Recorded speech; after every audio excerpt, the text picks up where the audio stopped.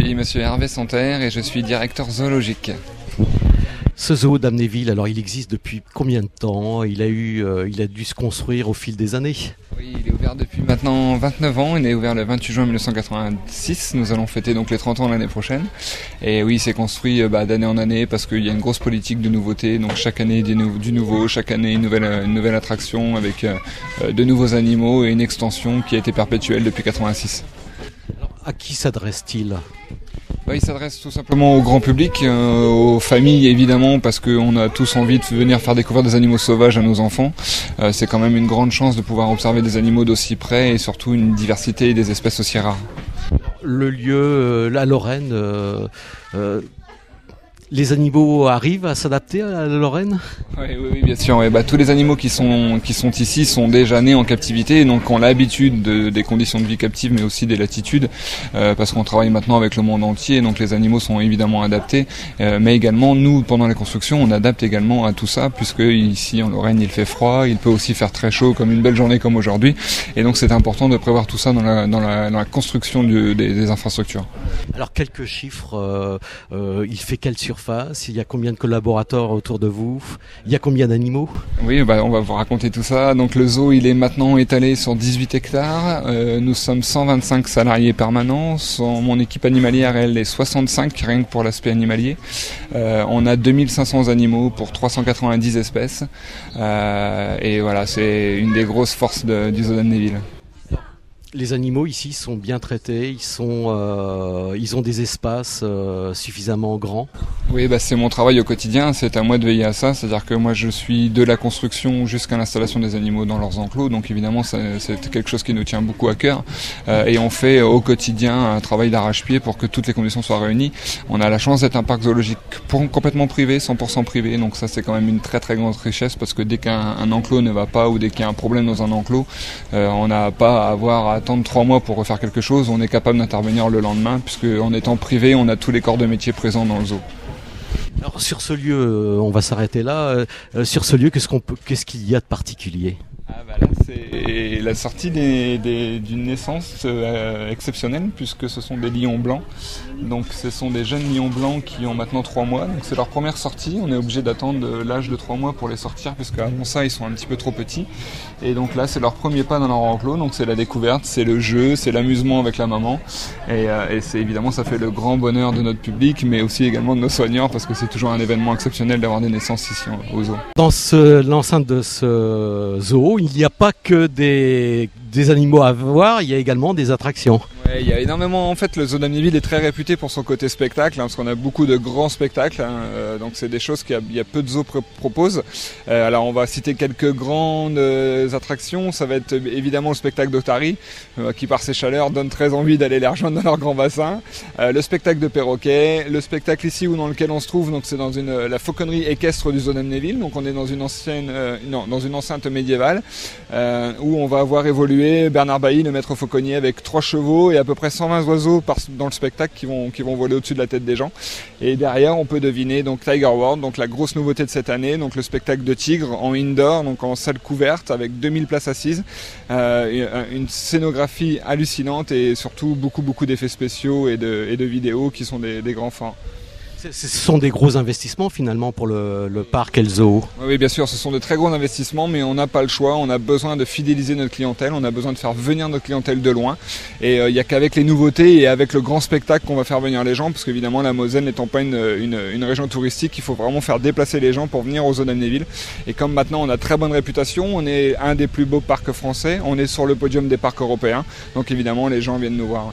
Alors, c'est combien de visiteurs que vous accueillez chaque jour ici au sein de, ce zoo Alors, en moyenne, on a une fréquentation de 4000 visiteurs par jour pendant les périodes estivales. On a des pics à 12 000 personnes les week-ends surtout. Et euh, on a un nombre de visiteurs de 650 000 euh, par an. Le zoo arrive à s'en tirer à la fin de l'année parce que des, investissements comme euh, le dernier, c'est quand même très très lourd finalement. C'est évidemment très très lourd, surtout que les frais de fonctionnement ici au zoo sont de 35 000 euros par jour hein, pour, pour faire tourner cette machine, cette énorme machine.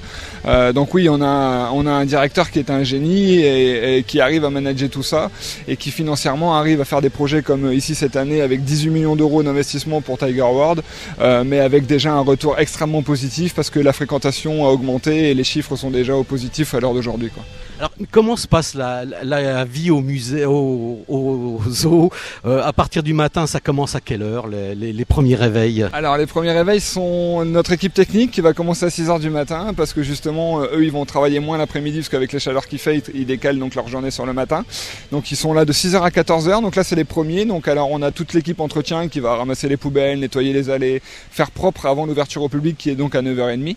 Et ensuite, moi, j'ai mon équipe animalière qui commence à 8h. Et alors là, c'est le gros du travail parce que toute la matinée ils vont la passer à nettoyer, euh, faire propre tous les enclos, nourrir les animaux, surveiller que tout va bien, faire des contrôles de sécurité.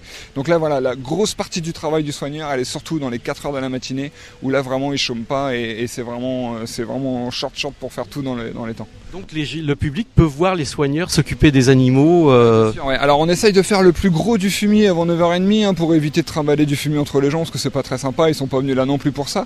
Mais oui évidemment à partir de 9h30, donc quand les gens rentrent, on voit les soigneurs évoluer avec leurs animaux, on les voit en train de nettoyer, de nourrir, d'observer, euh, bien sûr. c'est aussi un rôle important que le soigneur a, c'est qu'il doit aussi pouvoir répondre à des questions et pouvoir justement, et quand on est passionné, on n'a vraiment pas de mal à, parler avec les gens et on aime partager notre passion. Alors, euh, c'est combien de, tonnes de nourriture par jour? Je suppose que c'est des tonnes. C'est colossal.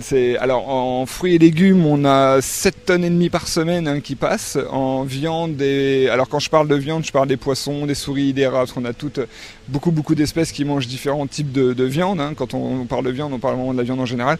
Donc là, on est aux alentours de 500 à 600 kilos par jour. Euh, donc on travaille avec les abattoirs Charal de Metz. On a de la viande fraîche qui arrive une fois par semaine. On a à peu près 3 tonnes et demie qui arrivent peu près toutes les semaines.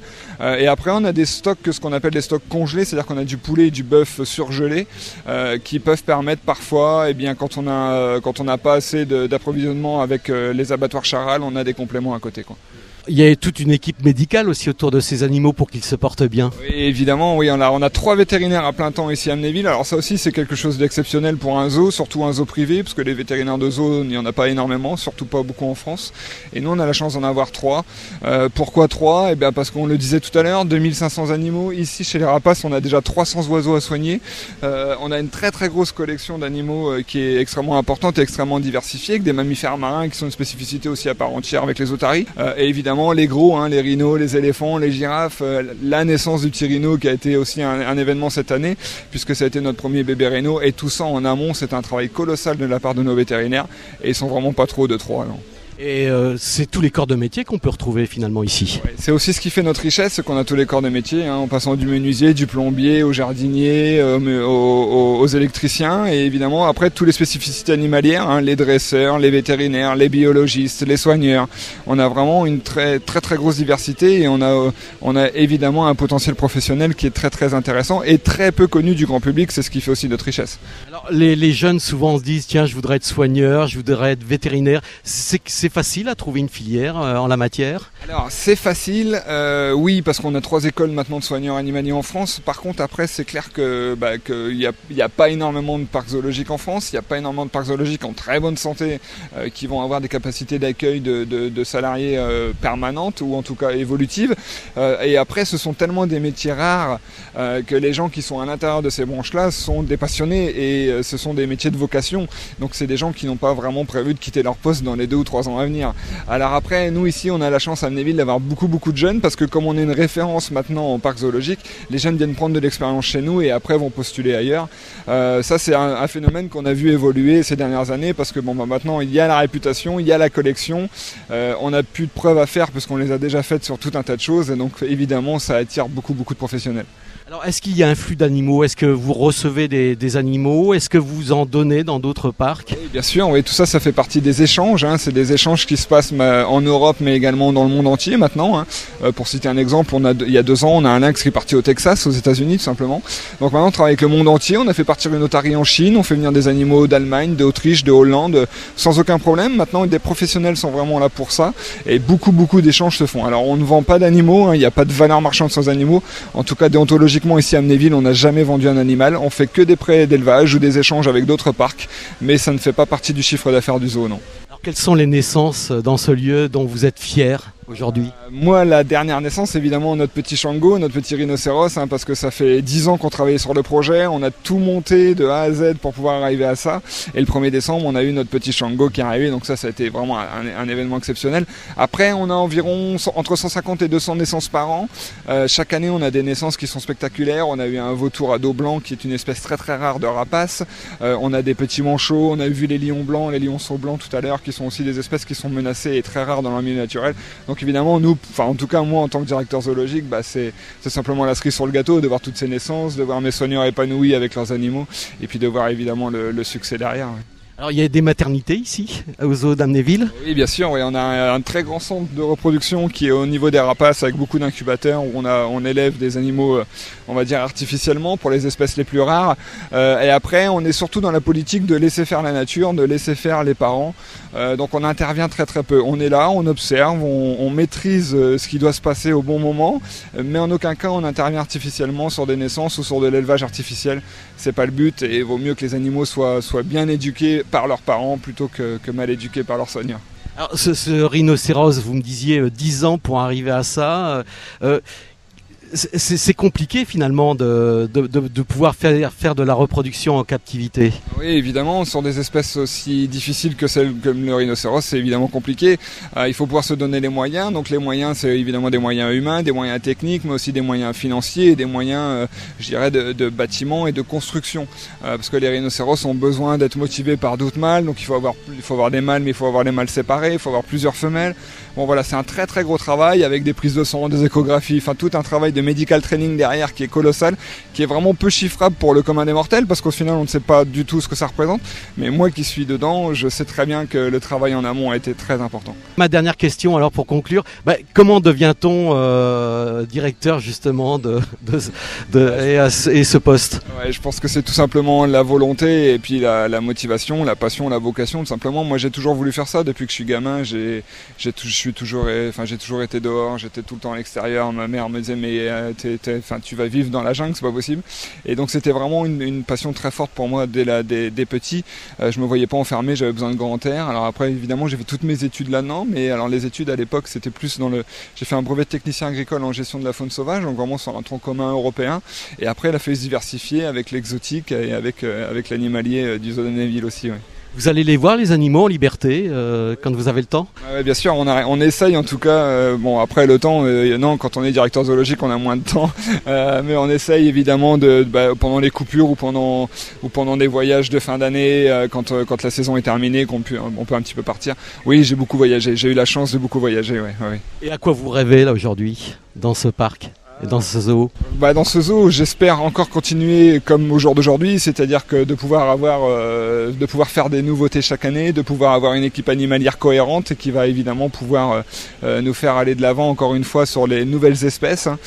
moi, j'aimerais évidemment pouvoir encore développer plus de choses au niveau animalier, présenter encore plus d'animaux rares. Et, et, mon patron est assez d'accord avec moi, donc ça devrait bien se passer. Ouais.